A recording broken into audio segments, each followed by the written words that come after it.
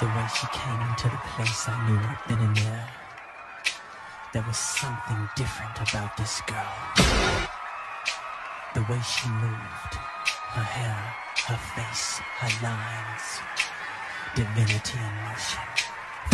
As she started to move, I could feel the presence, everything.